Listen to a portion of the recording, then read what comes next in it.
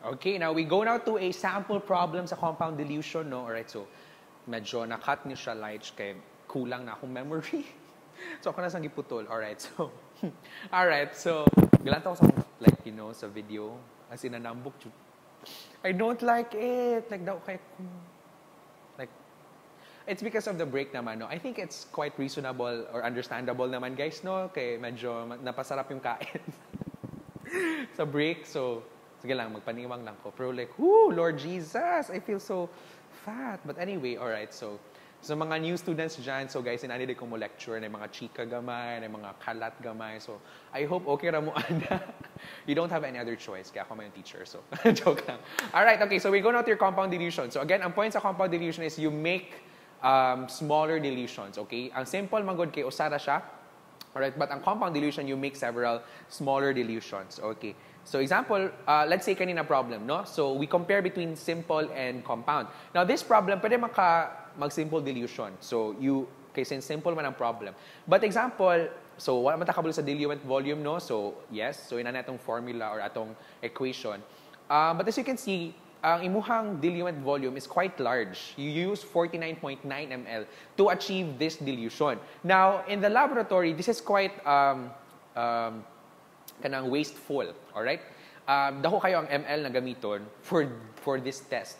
And aside from that is, aside from um, wasteful siya, um, it could also lead to different inaccuracies. Okay? Because again, you're using quite a large amount of volume. And what you're doing is, basin sa pagmix ana na yung mga mayabo, or um, dako kay ang volume na kailangan so sa pag-dispense ana ba sin improper in ana ba so that's quite um, we don't want that in the laboratory we want that we achieve the test um, cost effectively all right um, using the less amount uh, the smallest amount of reagents as much as possible all right but i'm not saying that uh, this is wrong ha you could always do this all right okay ragyod but uh, as much as possible we want to make sure na um, we achieve, again, our test cost effectively.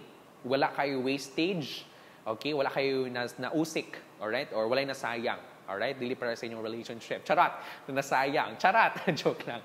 Alright. Okay, so that's for simple dilution. Now, another way is we now go to your compound dilution. Diba? Your compound dilution is we make smaller dilution. So therefore, we use quite um, large number of tubes na instead of one tube. So example, ayan.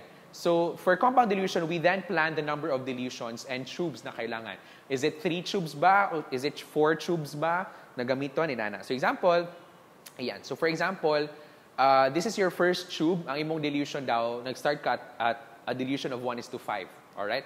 Ayan. So, of course, your final dilution is, since this is the first man na undiluted, okay, na sample, or 1 is to 5 siya, so your final dilution is 1 is to 1. So your final dilution is 1 is to 5. Okay? Now, we then go to the second tube. Now, we get the 0.1 ml from this dilution. Okay?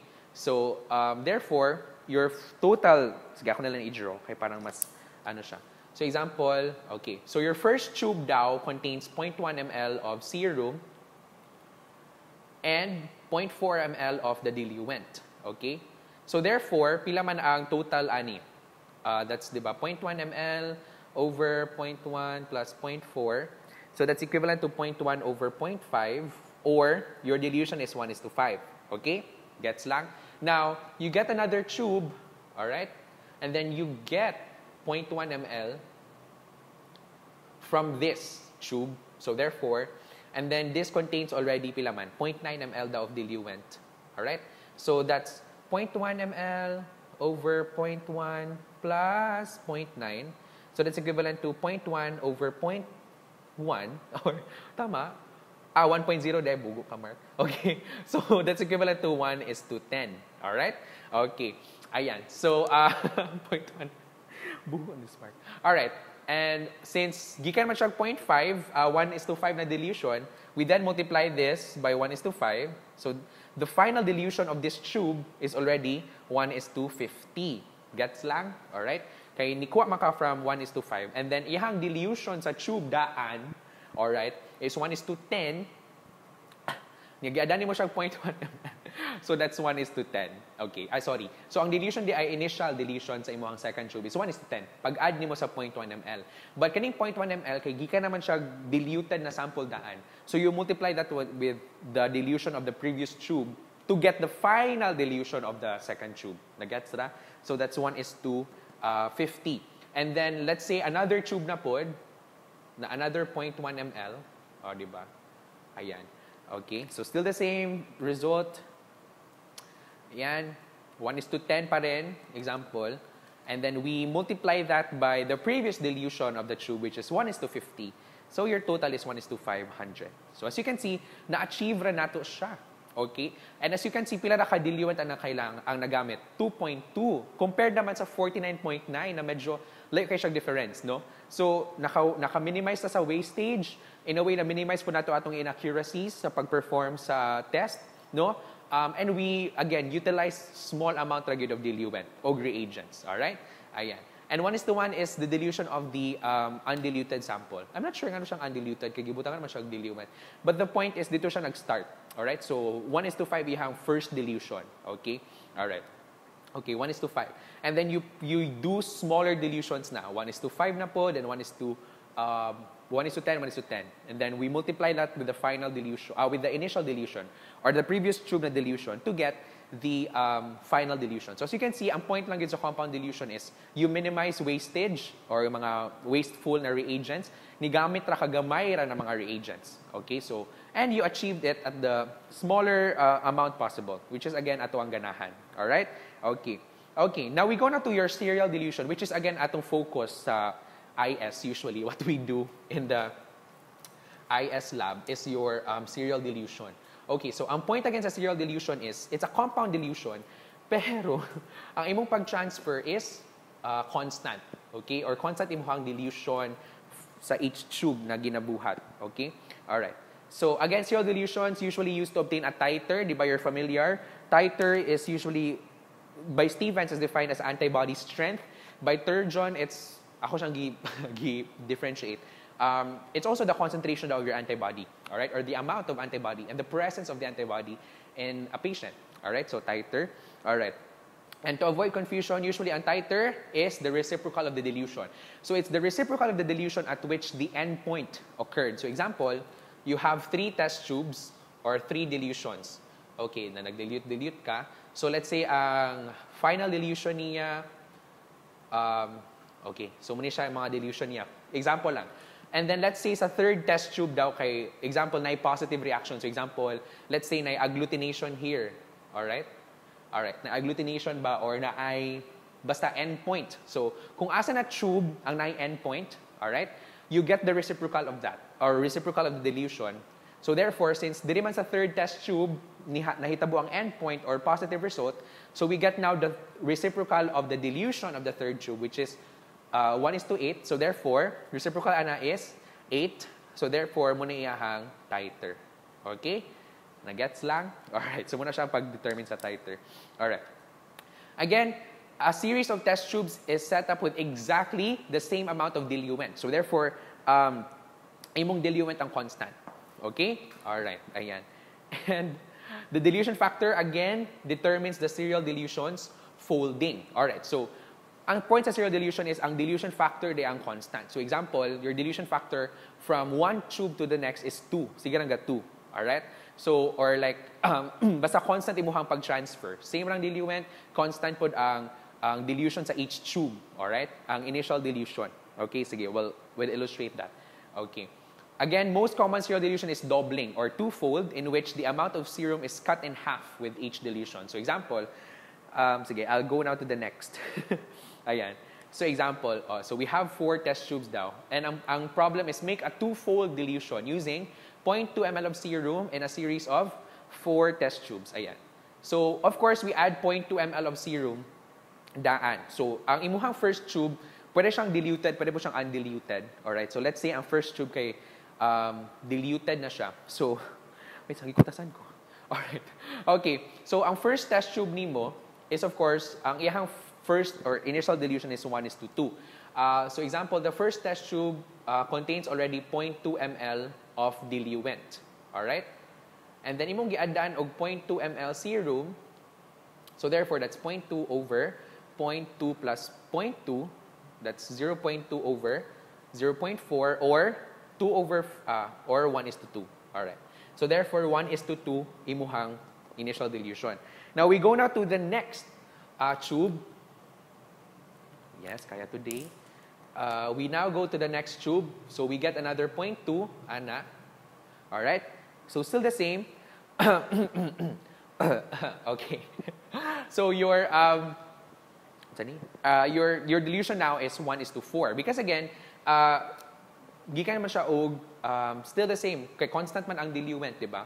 So example constant siya na 4 so this also contains 0.2 ml of diluent 0.2 ml 0.2 ml. Okay? So as you can see nibutan kag 0.2 ml sa second tube. So it's still the same na muni iyahang dilution una. Right? But then uh, gikan man siya og diluted already na 1 is to 2. So you multiply, okay? ba? As mentioned kanina, you multiply that by the dilution kung asa siya gikan. So that's 1 is to 4. Gets? Alright. And then, of course, pagka third tube, 1 is to 8. And pagka fourth tube is 1 is to 16. Alright? Then, kabantay mo na each tube, iko na 0.2 ml. Alright?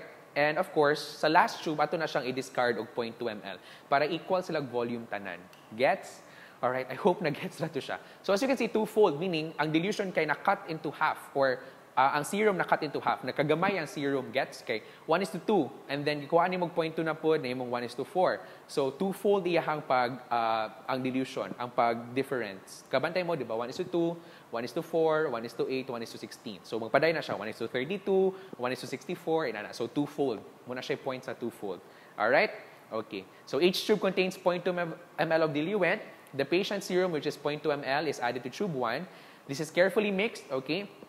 And then 0.2 ml is withdrawn, added to the tube 2, and it's continued until the last tube is reached. The sample is mixed, and 0.2 ml again is discarded para even ra ang volume sa tanan. So equal ra lang tanan. Alright? Okay. Ayan. So, muna siya yung calculation. So, ang tube 1, 0.2 ml of serum, then diluent. So, muna siya yung um, initial dilution, 1 is to 2. So, final dilution is 1 is to 1. Kaya siya ang first na undiluted, meaning kanang siya dyan ang first sample. Okay? So, 1 is to 2. Tube number 2, kaya ni kuha makag 0.2 ml, di ba? So, ang tube, ang initial dilution sa tube pa rin is 1 is to 2. So, constant imuhang initial dilution, pero sa tube dilution, as a final dilution na ka mag-change or mo differ. Alright? So, 1 is to 2 man ang initial dilution, but then ikuha makag 0.1 ml from an already diluted sa tube 1 na naanay already final dilution na 1 is to 2. So, you multiply this by the initial dilution of the tube, which is 1 is to 2. So, that's 1 is to 4. So, muna siyang point yapon sa 1 is to 3, ah, sa tube number 3 multiply it with uh, 1 is to 4 and then 1 is to 8 until mabot ka pila ka tubes. Alright? So muna siya twofold. As you can see, um, constant na imuhang um, initial dilution na 1 is to 2, but then magka, magka-half ang serum or magka, ang iyahang final dilution kay mag multiples of 2 na siya. So like 2, 4, 8, 16, 32. Nana. Alright? Okay. Alright. And then example lang, ang endpoint daw or ang positive reaction kay na, na achieve at tube number 2, so pila man yan titer. So tube number 2 man daw ang endpoint or ang imuhang positive reaction. So we get the reciprocal of this that's equivalent to 4. So therefore ang titer niya is 4. Okay, all right, ayan. Okay. So pwede po multiplication series no kay 1 is to imuhang initial dilution. So you you you constant constant ang initial dilution and then you raise that, example, 1 is to 2 ang imuhang initial dilution or ang constant na dilution. And then, uh, we then raise that to pila ka tubes imuhang gamiton. So therefore, your final dilution uh, will be 1 is to 16. Okay. Where in the original dilution, okay, or katong initial dilution na constant yun, is raised to the power equal to the number of tubes na imong gamiton. So makabalo ka, example, if 6 tubes imuhang kailangan, so pila man na? 1 is to 64. Okay, so meaning, ang last dilution nimo is 1 is to 64. So makabalo ka kung unsay last dilution nimo. Alright? Okay. And that's it, actually. So, muna siya ang end sa atong dilutions na uh, lecture. So, I hope medyo, I think, I think galang yun, medyo baka medyo na libog pa, no? But, sige lang, just tell me if ever unsa man. And uh, again, medyo, as I, I mentioned, medyo banga kong math. So, hopefully, ano lang. Basta ang point sa serial dilution, guys, is constant ang imuhang initial dilution, no? And then, you then uh, do uh, kanang, you transfer, example, twofold, di ba? So, from the initial dilution of one half, may mo siyang one-fourth. So, by two, ang pag-decrease sa dilution in a wing. So, example, one half, multiply mo another one half, so one fourth, and then another one half na po one eighth, one sixteenth, na na. Pwede po siya five-fold. So example, five-fold, start kag 1 is to 3 na dilution. Yeah, five-fold ang giingon sa problem. So you multiply that, this by 1 is to 5, so 1 is to 15. Multiply this by 1 is to 5 na po, 1 is to 75. And ana.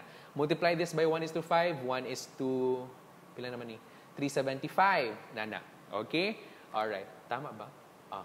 Diba? And, and so on and so forth. Alright? Okay. Ayan. So, muna siya ang points five-fold dilution. Pwede po siya six-fold, seven-fold, depende. Basta, ang point lang is constant. Okay? Mo siyang i-multiply o constant na uh, dilution in a way. So, serial. So, constant. Same ra siya. Okay? Alright, ayan. So, we'll, uh, in our class, we'll go to some problems, ani. So, mag-practice tag solving, no? Para at least dili masyukat. um, and hopefully po na gets ra ang lecture pero I'm I'm quite um, skeptical or medyo medyo nagduha-duha ko or medyo nahaddo ko kay basin wala but hopefully lang yun. Basta again if you have any questions chika lang no chat lang sa atong group chat. Yes. or just PM if you have. So again pasensya daan if medyo basin maglibog mo sa akong pag-explain again medyo kapos tayo sa brain cells for math, but I do hope na gets na to.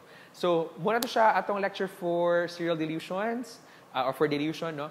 Again, I'll see you on our next lecture. So I hope na kato mga new students na ko sa third year, uh, hopefully okay ra mo sa akong pag-lecture or nalingaw ra mo, no? So, yes. So, as much as possible, guys, di I, uh, during the pre-recorded lecture, like magtapad mo sa inyo, sa atong handouts para if na other notes na wala siya sa handouts, then na chika na ako, at least manote rin ninyo siya. Alright?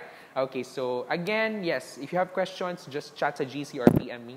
So I'll see you on our next pre-recorded lectures, guys. Medyo mataas-taas pa. Ma marami-rami pang mga complex na mga concepts na hopefully ma ma-water down ako or ma-simplify ako.